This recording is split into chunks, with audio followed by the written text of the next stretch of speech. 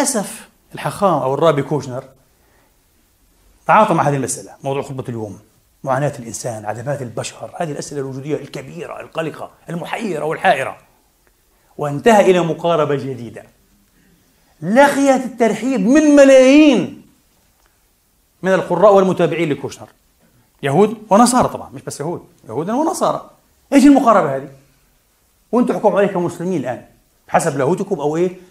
اعتقادكم الإسلامي. المؤسس على القرآن الكريم بفضل الله تبارك وتعالى. قال في الحقيقة لا. أنتم تظنون أن الله لا يأبه؟ لا الله يأبه بنا. ويهتم بنا.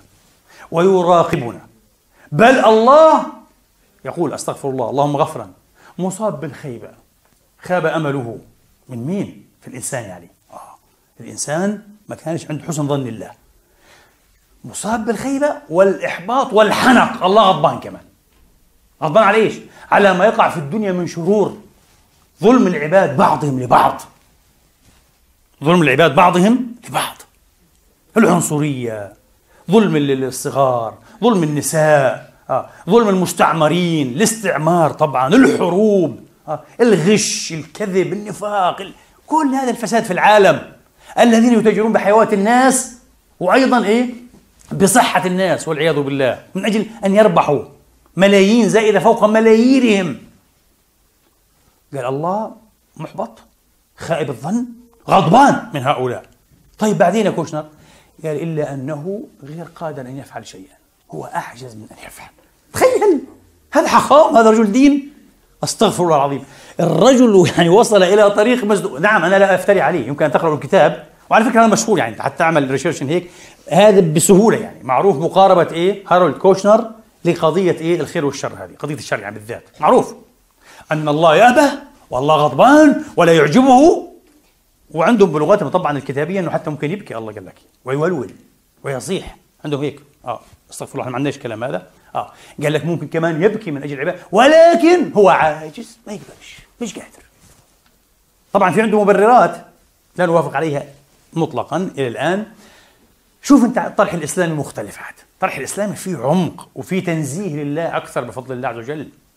فيه محافظة على جناب التوحيد آه، الواحدية والاحاديه بطريقة ولا أروع بفضل الله.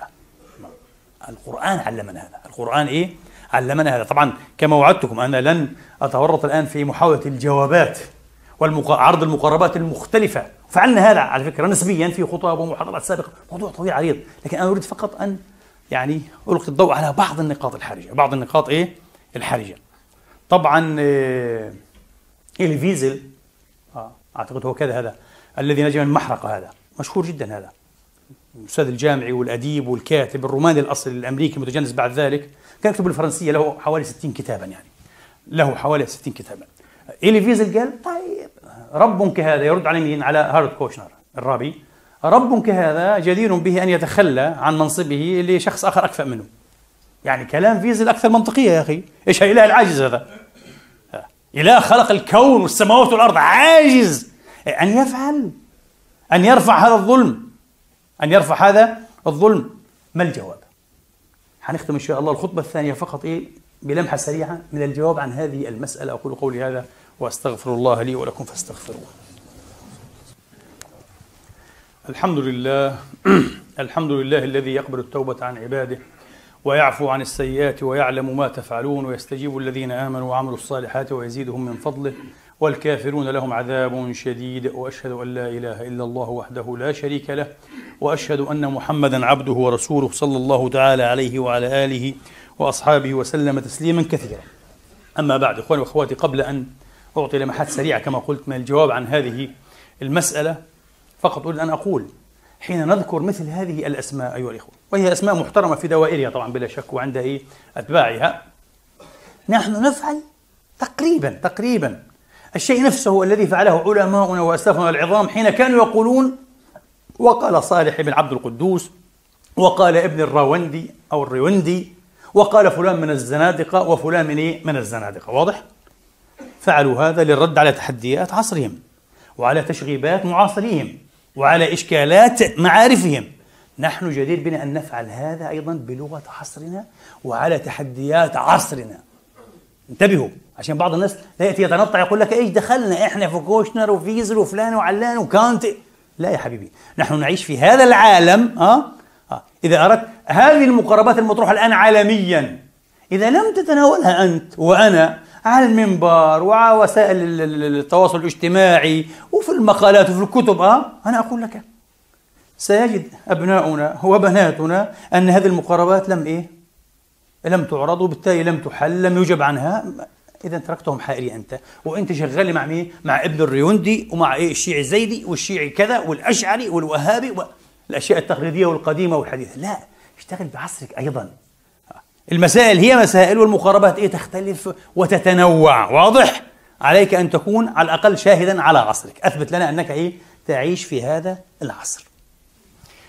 طيب نعود إيه إلى مسألة العجز المنسوب لله. أستغفر الله العظيم. الرجل هذا الرب اليهودي كوشنر وجد نفسه ملزوزا مضطرا أن يسلم أو أن يقر بأن إيه؟ بأن ربه لا أقول حتى الرب رب الذي يؤمن به. طبعا هذا هو يؤمن به هو.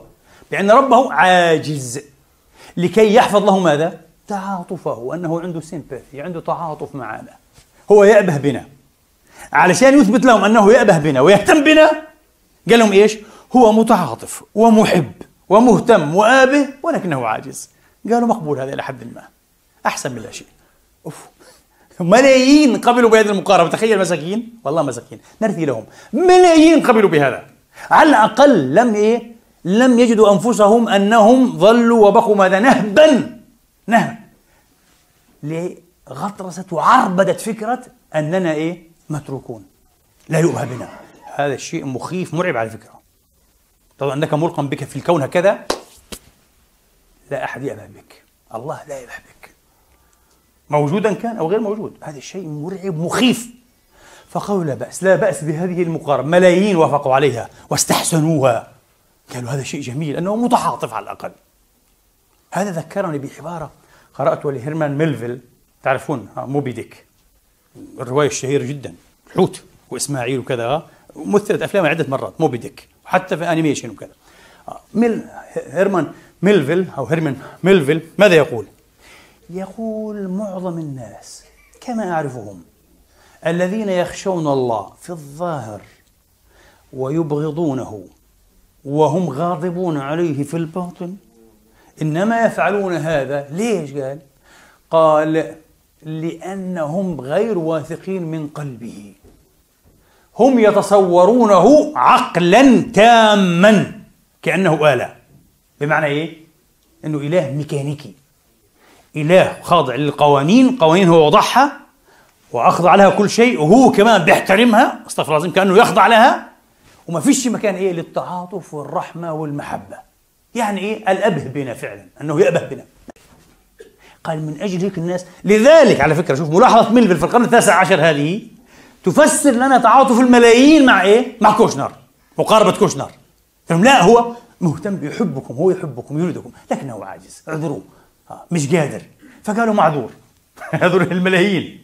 لا نحن طبعا نرفض هذه المقاربة تماما مثل ما رفضها هذا الناجي من المحرقة فيزل هذا إيلي فيزل قال لا غير صحيح.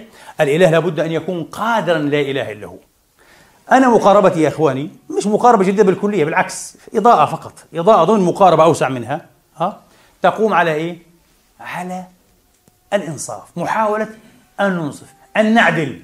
ننصف مع ربنا تخيلوا؟ وهو لا يحتاج إنصافنا.